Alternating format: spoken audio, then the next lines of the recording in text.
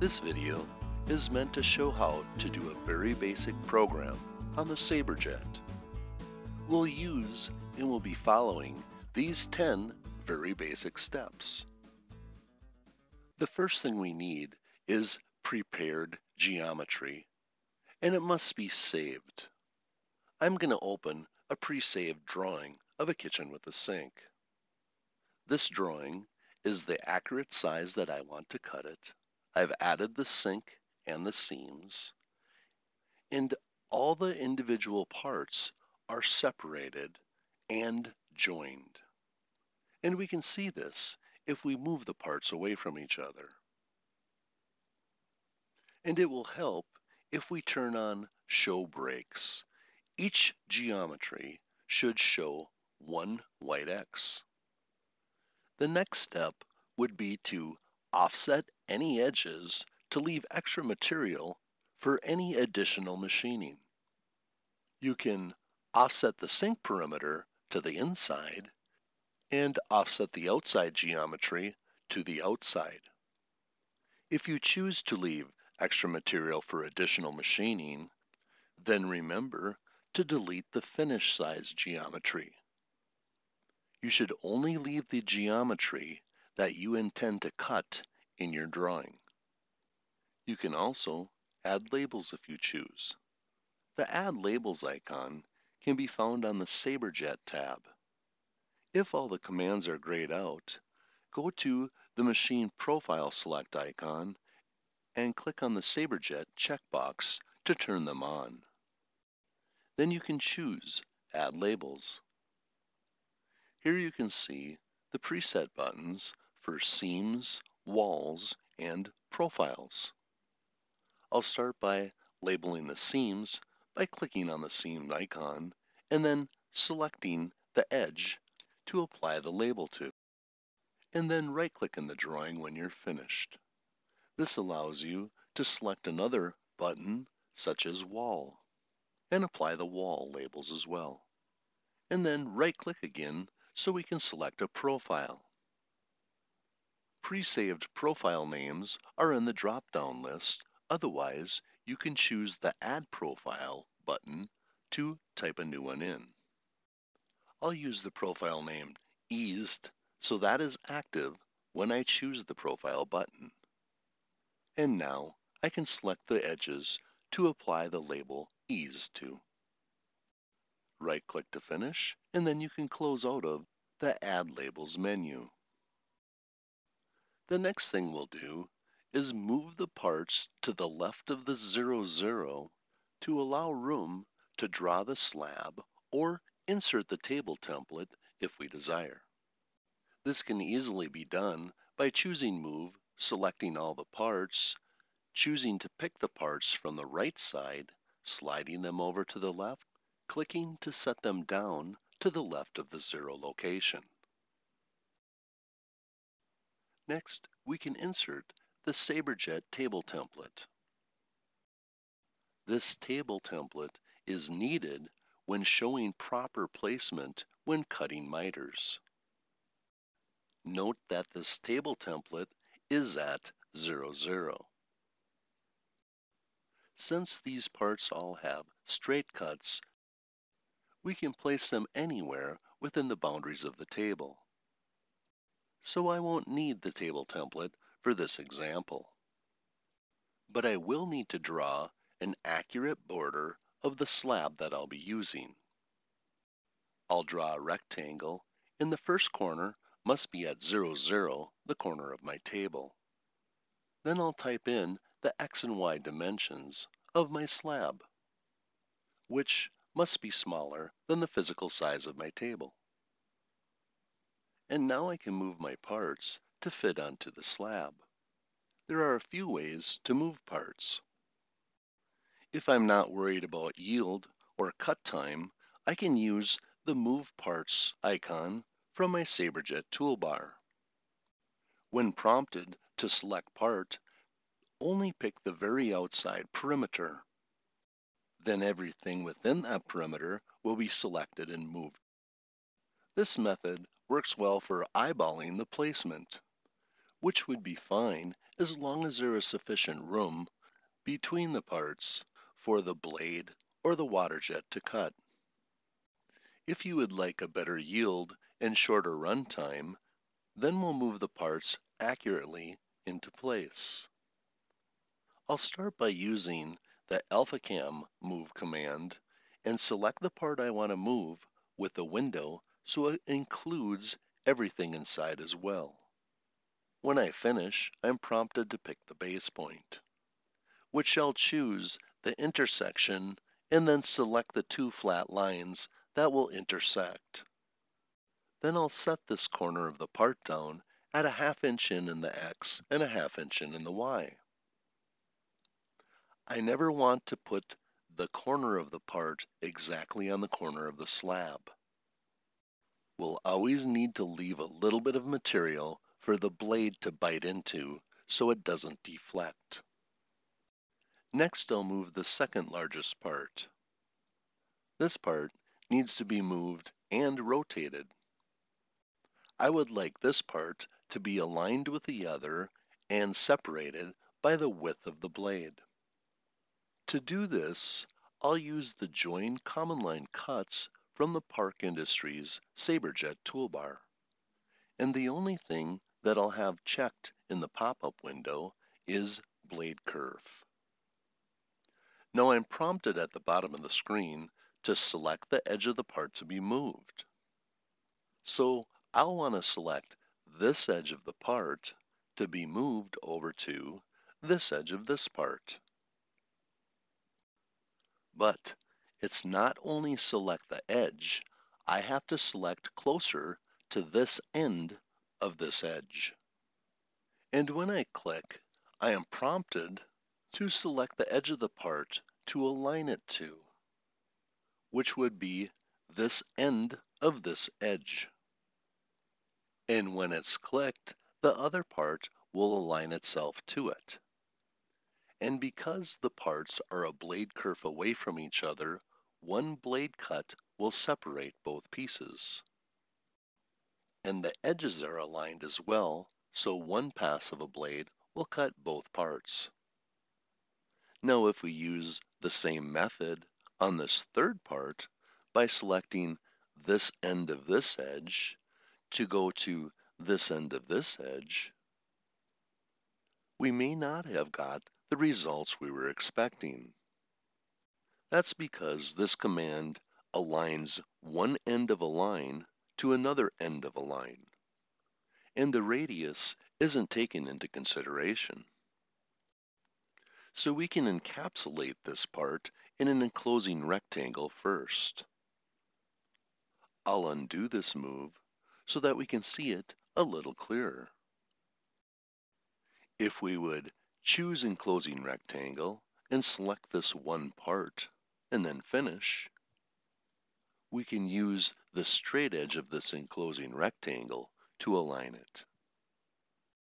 So this time, when we choose Join Parts, we'll keep the same settings of blade kerf, and we'll carefully select this end of the enclosing rectangle to align it to this end of this part.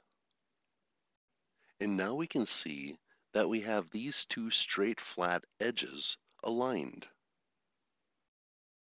And we will get different, maybe better results if we enclose the base part in a rectangle as well. I'll undo and choose enclosing rectangle and then select the other part and finish. And we'll choose Join parts again with the same blade kerf setting. I'll carefully select this end of this edge of the enclosing rectangle to be moved, and then this end of this edge of this enclosing rectangle to align it to. And now we have these two straight flat edges aligned so that one pass of a saw blade will cut both parts. If you choose to use the enclosing rectangles, make sure that you delete them when you're finished, so that only the things that we want to cut are left in our drawing. If the enclosing rectangles were accidentally cut, the parts they enclosed would be cut wrong. If there were any extra parts that didn't fit on the slab, we would have to save them and make another program. But since all the parts fit on this slab, we won't need to do that for this job. So I'll just save this slab using the original name and just adding program 1 to the end. This name will become the program name when we make it. We'll use Park Industries Auto Toolpath function to make the program. This can be found on the SaberJet tab. When the pop-up window opens, first verify that the correct tools are selected. If you need to change them, that can be done through the Tool Select icon. Also, verify or change the material thickness before applying toolpaths. And also, set all the selections you want to apply with the toolpath. The three basic selections that I have will probably be sufficient for most programs. There is a full description of each in your Park Industries training manual. And then with the proper settings, select the geometries to be cut as instructed on the command line. And when you're done selecting, choose Finish to apply the toolpaths. The toolpaths will be applied as blue for a blade and red for a water jet. And the arrows will show the direction of the cut. You may turn the arrows on and off with the icon on your Park Industries toolbar. The blade cuts will be made first. This will leave an opening or a slot for the water jet to start in. Whatever the blade wasn't able to cut, the water jet will finish. If we are cutting a feature, such as an oval sink that doesn't have any blade cuts, we will want to make a lead-in pierce point away from the edge to avoid chipping. This indicator is showing me that the water jet will start here and it's not in an existing saw blade slot, so it might leave me chipping on my part. So I can choose to modify the lead in and lead out of the water jet path. Now when I select the water jet path as prompted, it's important to take note of where I click or select. This will be the new water jet lead in and lead out location. Now as prompted, to select a new lead in point, I'll choose a spot away from the edge in a counterclockwise direction. And for the lead out, it doesn't need to be very long, but I'll choose clockwise and a little away from the edge. So now the water jet will pierce a hole away from the edge, travel clockwise around the sink, and then lead out where I have chosen. You can delete the white circles if you wish. With the water jet lead-in lead-outs completed, we can now extend some of the blade cuts to the border of the slab. Choose this icon from the Park Industries toolbar. And as always, follow the prompts on the bottom of your screen. The first selection is to select the border of the slab to extend the cuts to. Then you can select the toolpath to extend to it. When selecting the toolpath, select closer to the end that you want to extend. Notice that these cut paths that we extended to the border will start cutting at the outside of the slab towards the center. Take care and pay attention to select the proper end of the toolpath so that it does not get extended across a good part. If you accidentally extend a toolpath across a part, you can always undo that with Undo in AlphaCam. and then choose Extend Cuts to Border again to do them properly. The only cut order used in Auto Toolpath is making blade cuts first and water jets second. You can change the order of cuts if you'd like by clicking on this icon to open the Operations panel on the left side. Here you will see all of the blade and water jet cuts in your program. If you click on one of the cuts, you will see it light up in the drawing area. You can click on the top cut and then press the down arrow key on your keyboard to see the order of the program that Auto Toolpath assigned. You can reorganize the order of the cuts if you'd like to by highlighting one and then choosing the red up or down arrow at the top of this panel. And step number 10 would be to send the G-code to the machine. This is done with the Send G-code icon from your Park Industries SaberJet toolbar. Choosing this icon will send the G-code to the machine if it's set up through a network, and also open up this window where we can input any information about this job if we choose to. We can choose to print out a list of the tools that were used in this job, to print out in black and white, and I might even leave a note for my operator which material to use. I might also make a note to send it to the shop for flat polishing or to the Titan for a profile. And if I click OK, it will process a job sheet and then I can choose to print it if I wish and give it to the operator so he can scan the program to load the code into the controller.